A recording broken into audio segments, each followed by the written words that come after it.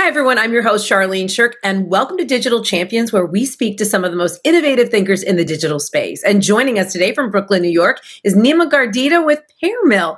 Nima, thank you so much for joining us today on Digital Champions. Yeah, thanks for having me.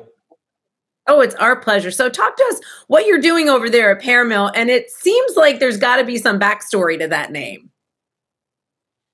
Absolutely. You know, we we've been in the advertising, digital advertising world for about three years or so, but the name comes from the 1800s. You know, Pear Mill is based on two words, pear and mill.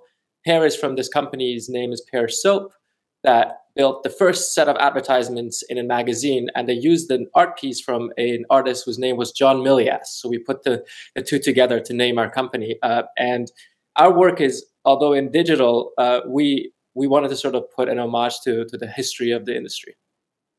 I love that. So talk to me about what you're doing over there when you say your space is digital. What are, is there an area, a niche? Everybody always says, you know, the riches are in the niches. So what's your focus? Mm-hmm. Yeah, our niche in the market is essentially uh, what we call hyper growth companies that are spending on paid social and paid search channels. Uh, we we work with bringing technology and art together. So we have a full creative uh, team in house where we produce and do our own shoots and, and, create our own ads. But we also have an engineering team where we uh, sort of bring together algorithmic buys and uh, and bring together uh, machine learning to try to see if we can find pockets of people within the networks that are cheaper or, or higher quality for the brands that we work with. And, and on average, our clients are sort of scaling somewhere between 10 to 20% month over month. Uh, and we spend triple digit millions per month right now. Oh, sorry, triple oh, digit wow. millions per year. Per month would be a lot more. wow. uh, yeah. yeah. So, talk to me a little bit about what what is. Can you give me an idea of what your typical client is, and what's the problem that they're coming to you to solve?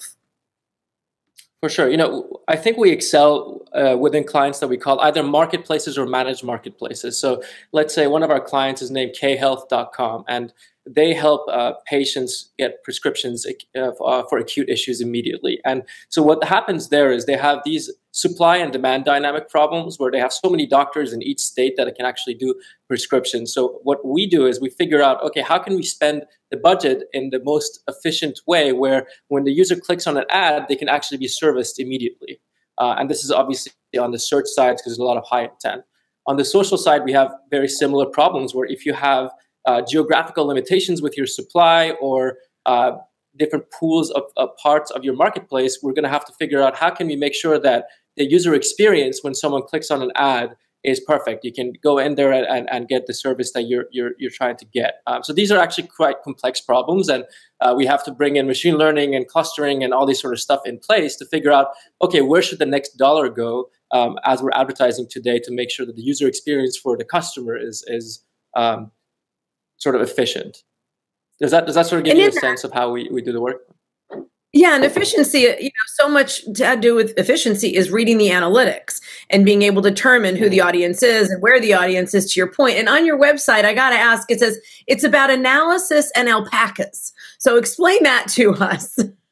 uh, you know, the alpacas part is quite funny because we essentially every time you join, anyone joins our company, we design a unique alpaca for them. Uh, mine has like a disco ball on its head. Um, we have one who, who, has like crazy hair because one of our uh, partners is, is has like a massive afro and it matches them. So the alpaca part is sort of part of the culture. Um, and I don't really know where it came from. I think it was like uh, one of our designers thought it was funny to design one of our personal ads for our own work um, as, a, as an alpaca that stood out in the middle of a lot of alpacas because they had this like red color uh, and that sort of uh, gone through. And on the analytics side, you know, we, we essentially partner with internally with our uh, data engineers um, to make sure that our creative folks understand what's working, what's not working, so they can use that information to uh, optimize the ads as they as they go along and, and as they launch new campaigns. So there's like a sort of very strong feedback loop built into our process on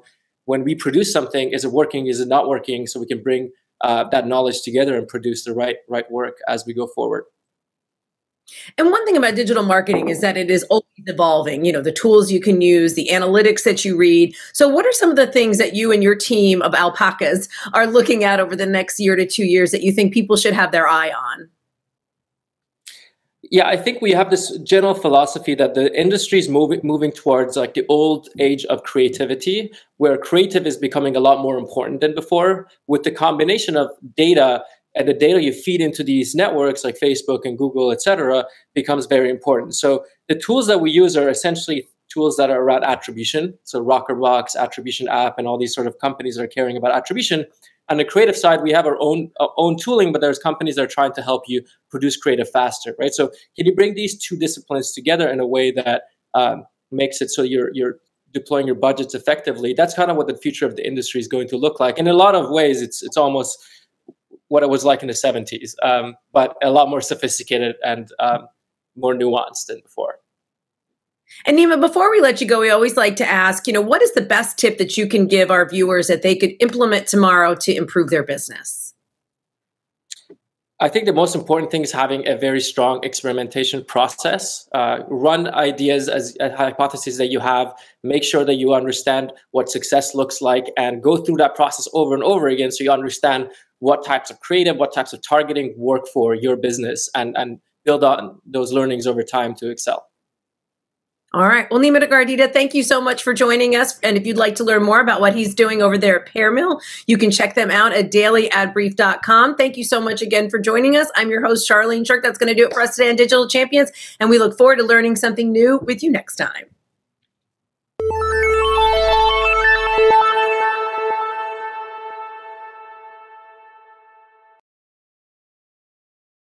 Simpli.fi presents Addressable CTV combining the power of TV with the targeting and attribution of digital.